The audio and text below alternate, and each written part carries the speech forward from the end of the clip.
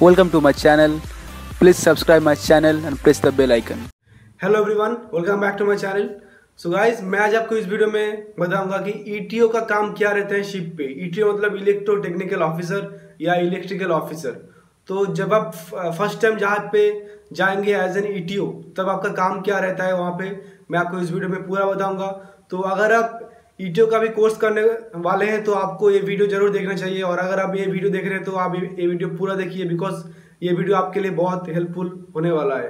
And guys ये video start करने से पहले मैं आपको बताऊँगा कि मेरे ये आई बटन पे यहाँ पे ईटीओ के रिलेटेड बहुत सारा वीडियोस दिया हुआ है, आप उसको भी देखिए। वहाँ पे एंग्लो में आप कैसे एंट्री कर लेंगे फॉर ईटीओ कोर्स उसका प्रीवियस क्वेश्चन सब कुछ है वहाँ पे, इस आई बटन पे। आप उसको देखिए, आपको बहुत सारा इन्फॉर्मेशन मिल जाएगा ईटीओ से रिलेटेड तो गाइज़ ये वीडियो स्टार्ट करने से पहले, अगर आप मेरे चैनल को सब्सक्राइब नहीं किए हैं तो पहले सब्सक्राइब ज़रूर कर दीजिए और बेल आइकन भी ज़रूर दबा दीजिए, ताकि आपको मेरे फ्यूचर में आने वाला हर एक वीडियो का नोटिफिकेशन मिलता रहे। सो so आपके ईटीओ कोर्स करने के बाद आपको डायरेक्टली इलेक्ट्रिकल ऑफिसर के पोस्ट पे नहीं भेजा जाएगा, किसी भी शिप पे, चाहे वो किसी भी कंपनी में। आपको पहले ट्रेनिंग ईटीओ के पोस्ट पे आपको भेजा जाता है, ताकि आप जब जाएँगे जहाज़ पे, तब किसी सीनियर ईटीओ के अंडर आप काम करेंगे, काम सीखेंगे आप जानेंगे कि क्या क्या काम होता है, ठीक है? तो वो छः महीने का होता है, उसका पीरियड छः महीने या फिर सात महीना कंपनी के ऊपर डिपेंड है। फिर उसके बाद जब आपका थोड़ा एक्सपीरियंस हो जाएगा जहाज़ पे, जब आप सब कुछ सीख जाएँगे कि जहाज़ पे काम कैसा कैसा होता है, तब आपको फिर ईटीओ के पोस्ट में भेजा जाएगा।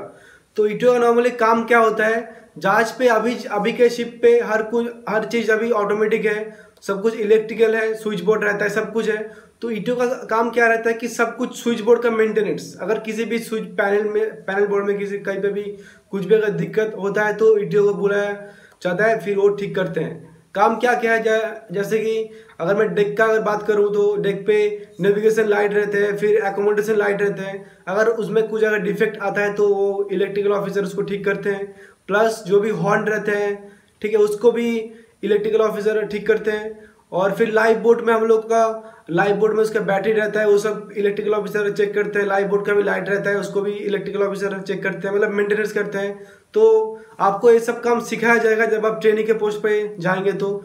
फिर बाकी, जैसे कि शिप पे एयर कंडीशन का रूम रहता है, अलग से उसका, वो सब का मेंटेनेंस भी इलेक्ट्रिकल ऑफिसर करते हैं।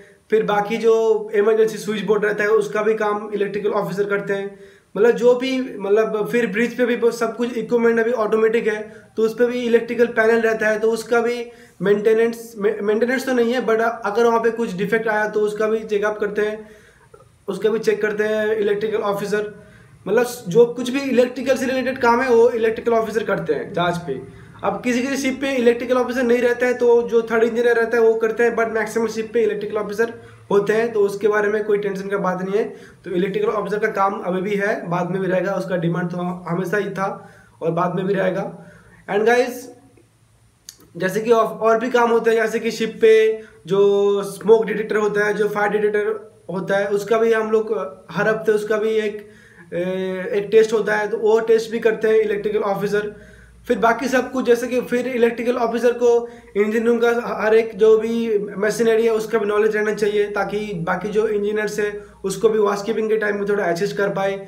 बाकी इंजन इंजन में भी बहुत कुछ ऑटोमेटिक इलेक्ट्रिकल पैनल वाला सिस्टम है तो उसका भी नॉलेज उनको रहना चाहिए ताकि अगर उसमें कुछ दिक्कत आए इलेक्ट्रिकल फ़ील्ड में तो वहाँ पे उसको देख सकते हैं। और हर एक इक्विपमेंट का मैनुअल रहता है, अगर वहाँ पे कुछ समझ में नहीं आ रहा तो मैनुअल रहता है। आप मैनुअल में जाके देखिएगा, फिर वहाँ पे उसका पूरा पैनल का वहाँ पे पूरा प्लान दिया रहेगा, आपको फिर समझ में आ जाएगा। अगर आप इलेक्ट्रिकल इंजीनियरिंग अच्छे से किए होंगे तो।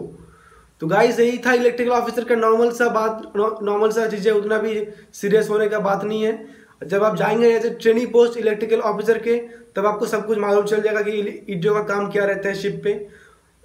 तो गाइस अगर ये वीडियो आपको अच्छा लगा होगा तो आप आपके सारे दोस्त जो भी अभी ईटीओ कोर्स करने वाले हैं, उसके साथ आप ये वीडियो शेयर कर दीजिए ताकि उनको थोड़ा हेल्प हो जाए। तो आज का वीडियो यही तक था तो अभी चलते हैं, फिर मिलते हैं नेक्स्ट वीडियो पे।